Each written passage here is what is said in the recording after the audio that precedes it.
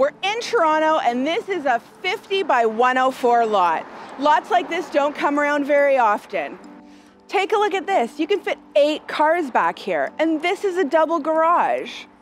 Welcome to 1015 Islington. This property is great for first-time home buyers or renovators.